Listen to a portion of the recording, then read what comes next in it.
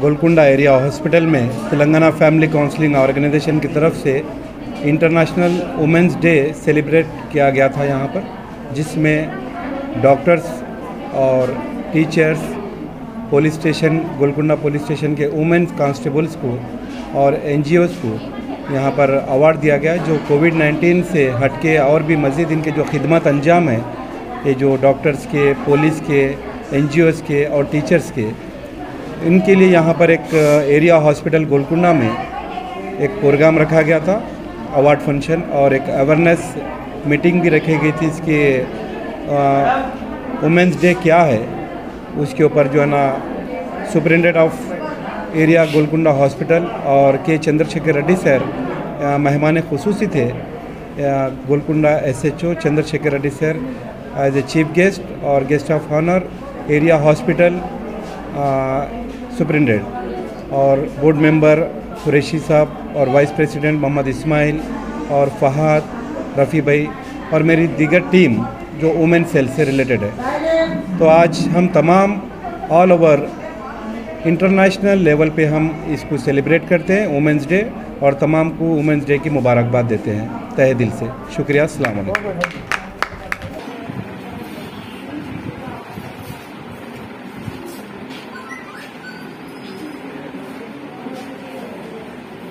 Alaikum, my respected chairman, Muhammad Najib Saab.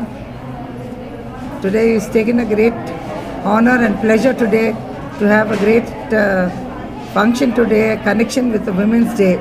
A, wom- a woman means a mother, women means a sister, women means a grandmother, great grandmother, a wife, a daughter. So today we have been respected in all aspects on the Women's Day. It's so surprising that there are thousands of NGOs, but no one followed Women's Day as we are connecting according to the Telangana Family, Family County Organization. That's at Toli Choki.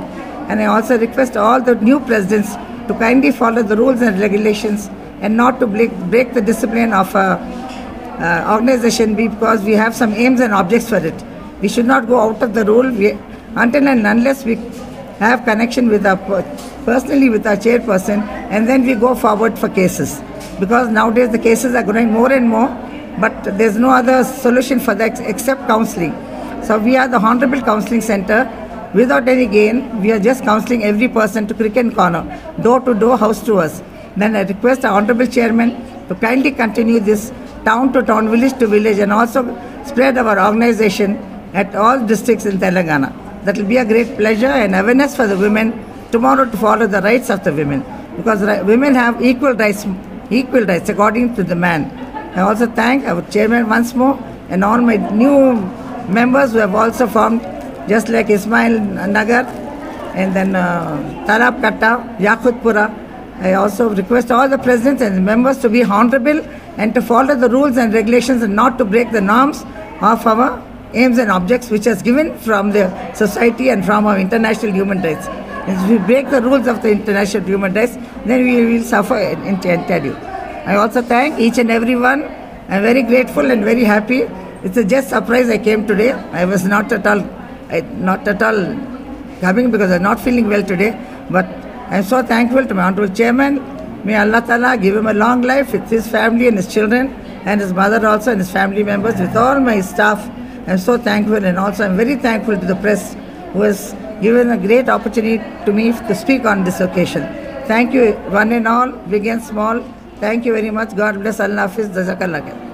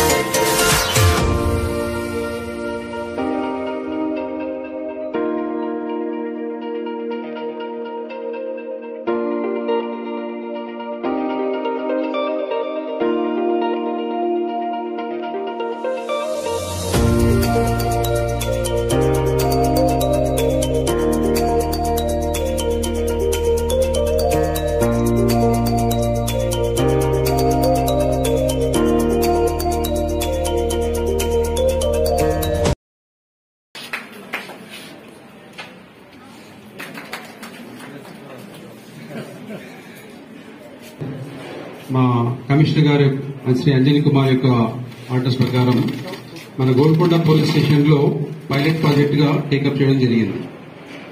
So దీంట్లో ఏంటంటే main objective women women empowerment. Women empowerment మొత్తం పబ్లిక్లో women active volunteers identify చేసుకోవడం. So ఏరియాలో అక్కడే problem